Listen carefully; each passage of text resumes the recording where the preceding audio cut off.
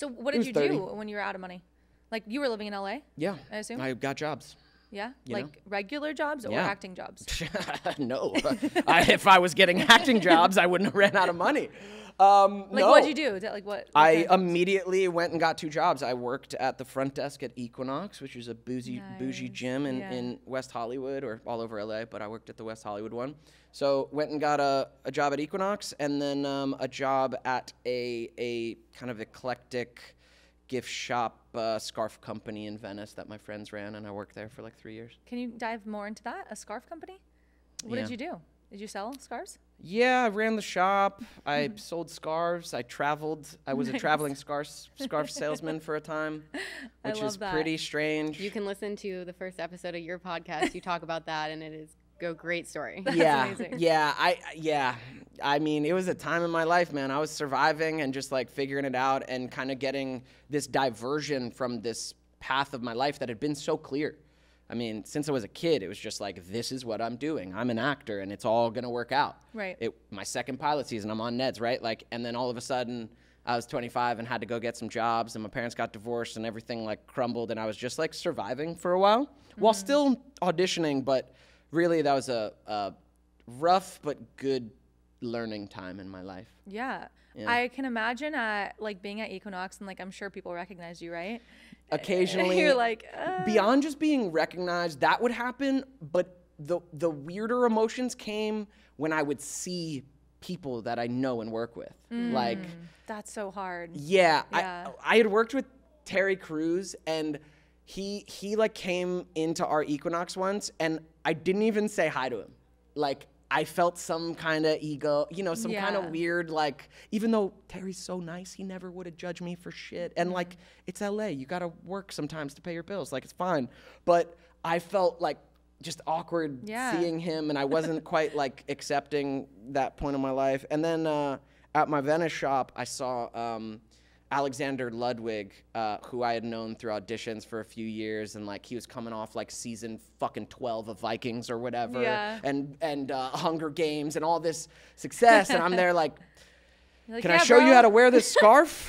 and uh, I, it really was humbling, you know, Yeah. because the truth is, like, it did hurt. Like, it hurt my ego. It hurt what I want my life to look like. It hurt Mm-hmm. what I want to be doing. But then on some level, I also understand, like, it's not that big a deal. Like, Right. Like But, I'm I just mean, working a job. Like, it's fine. This can go- transcend so much further than just like actors because even someone like if you start your own business and it doesn't work out and people know you started your own business and then you you're like okay well that didn't work out and then you're thinking I know I would be thinking like oh everyone thinks I'm like just a failure. failure. and like yeah and it's like really nobody gives a fuck like nobody cares what you're doing Not like that much. everyone's on their phone Yeah.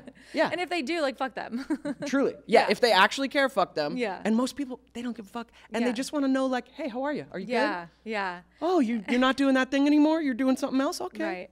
No I remember cares. I like pivoted a few times in my business and I'd have to call like my clients and tell them like, hey, I'm kind of going this way with it. And I would like get so worked up over it. But then afterwards I'd like they didn't they didn't care. They're like, cool, good for you. I'm so glad you're like doing that other thing now. That's I'm like, it.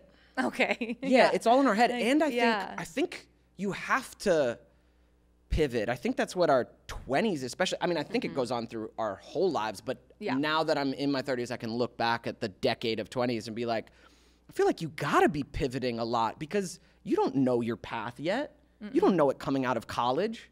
Like you don't know how it's going to go. Even if you know what you want to do, you do not know how you're going to get there. what that's gonna look like. Yeah, Yeah. and it's gonna mm-hmm. change, and you're gonna change, and like I feel like you have to be pivoting and failing and feeling the identity crisis that comes with it, and then shifting. I feel like that's like part of that transition. Oh yeah. Yeah. And I like what I want to ask you like do you have anything that like a mantra or something that you like live by? I'll give you an example. Mine is if it's not a hell yes, it's a no. So like anytime I'm thinking about something or wanting to do something, if I don't feel that like hardcore like even if it's something as simple like my friends asked me to go out to a bar. Yeah. If I'm not like hell yes, I'm like no thanks, you know? Yeah. But like and then when it comes to my business, I ask myself that all the time. Like Mm. do I want to do this because if it's not a hell yes, my energy is not behind it and it's never going to come across well, you know? Yeah, I don't know that I have it in like clear mantra form, but I have over the last few years been getting more acquainted with what a yes feels like inside of me. Like it's like a more subtle listening. And yeah, I don't know that I have it in like words, but I have gotten better at just trusting when I'm making a decision, trusting like what my answer is and going with it and whatever happens, like being like, yeah, I know where I, I chose that from. Right. You can like feel it better. Yeah. Now. Yeah. And and I used to be like a major uh, people pleaser. I used to be a yes to everything Mm.